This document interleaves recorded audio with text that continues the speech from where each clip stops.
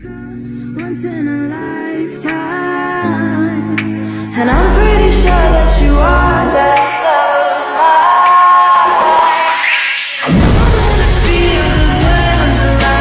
Pushing on everyone